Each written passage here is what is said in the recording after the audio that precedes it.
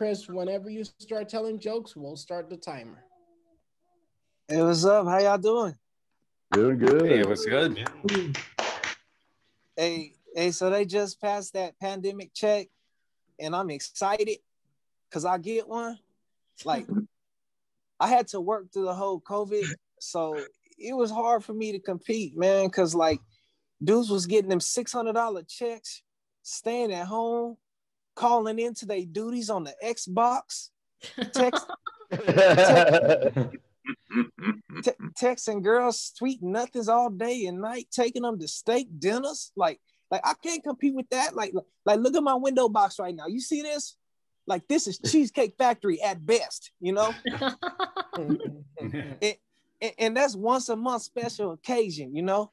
Like, like I can't compete with the steak meat, you know, because because I'm a chicken guy, you know, and I want to let y'all know. I want to let y'all know that chicken is an all-American delicacy, you know, from fine dining Italian restaurants to your fast food dollar menus. There's a chicken for you, you know.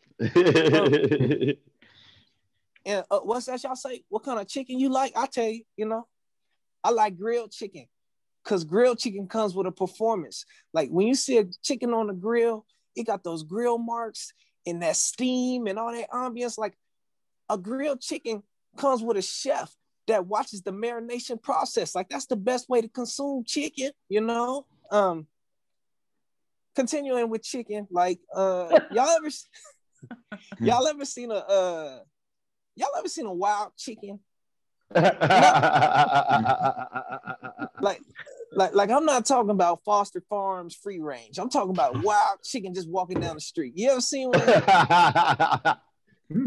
when you watch that chicken walk, it walks like it knows it's delicious. You know what I'm saying? Like, like, like when when you see them cows in the field, you don't know. It could be a steak, it could be a cheeseburger, it could be some ground beef, you know. But when you see that chicken, he know he about to get on that grill, you know. Um, it's been tough for me, man. Like it's tough for me to get dates nowadays. I'm in my 30s, and like women expect dudes in their 30s to have like next level dates, and you know it's tough for me because um, all right, um, Joycelyn, uh, half of the improv group, and and Vanessa, like it's a lot of pressure, y'all, because y'all gonna be representing the whole gender of women for this joke. But um, say there was a dude, right? And a dude said, Hey, I'm gonna take you downtown, you know, this nice little low-key spot, you know, and uh it has ambient lighting, spacious tables. You can stretch your legs out, you know what I mean? You ain't gotta worry about no drunks because all they serve is wine and moderate beer selection. You're gonna have a, a you're gonna have a chef that's gonna cook your meal right in front of you, ingredient by ingredient, like only the freshest, you know. Does that impress you? Like, would you, would you, you would take a chance on that, right? That sounds like a decent date, right? Mm-hmm. Um, okay, I'll take that as a yeah. But um, 2021, you know, when you start getting these Chipotle dates popping, you know, Chipotle is the spot for dates because the problem with Chipotle is it's oversaturated, right? There's a Chipotle on every corner, even in the hood, you know. But if there was only one Chipotle in every city, you would be dusting off them red bottoms. You'd be like, we are going to Chipotle, you know? um, I want to get this joke in because I wrote it yesterday and uh, I thought it was good. I don't know if y'all are, but it's gonna be the topic of the day. Um, there's this uh pop culture is getting dumber and dumber, okay? Because there's this saying, you know what I mean? And it's, it's, it's called protect the bag or catch the bag or whatever. I don't know. I, I had it, but I'm not looking at my notes, so I can't get it correct 100%. But it's something like protect the bag or sec- secure the bag. That's it. You know, I'm in the streets. I know it. Um, there's this this there's this saying, secure the bag, and you know, Wingstop's on it, Wendy's is on it, SoundCloud Rappers is on it. You know, and the reason why I don't like secure the bag is because the intelligence just ain't there. Like, secure the bag is supposed to represent throw your money in your bag and protect your monies, right?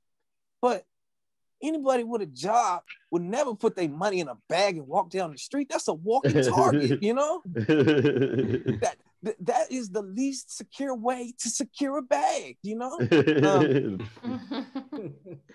and uh I'll leave y'all with this one because this is mostly comedian room. So you, you know, I feel like this is gonna resonate with y'all spirit. You know, take this with y'all. I don't know if it's advice, but um, you know, everything is starting to open up now, and I hate strip clubs. I really do. I I hate strip clubs, and the reason why I hate them is because they always trying to upsell us. You know, like well, I gotta pay money to watch you practice dance in the back room. I just can't support the show you know, because we're all comedians, right? So imagine if we had the stripper mentality, right? You Yeah. know, we we get up on stage, we do our six minute performance. Tonight is for Window Box. In a few months, it'll be live, you know. and after we do our performance, you pull somebody to the side and you just be like, hey, you little, you, you little sexy thing, you you want to come back with me to the back room?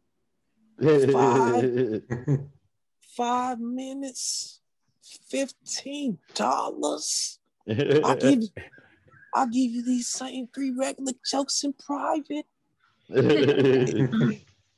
And if it and if it gets hot, I'll run it back and give you the same three jokes with a little sexiness. And and and if it gets even harder, you can secure the bag. Um, I didn't get the one minute and I don't have the timer on, so I'm assuming that's it. You know, AMG, I appreciate y'all. This is a wonderful opportunity. Uh, I wish the best for the rest of the comments going up and, and let's have some fun, man. Yay. Okay. Where you at, Chris?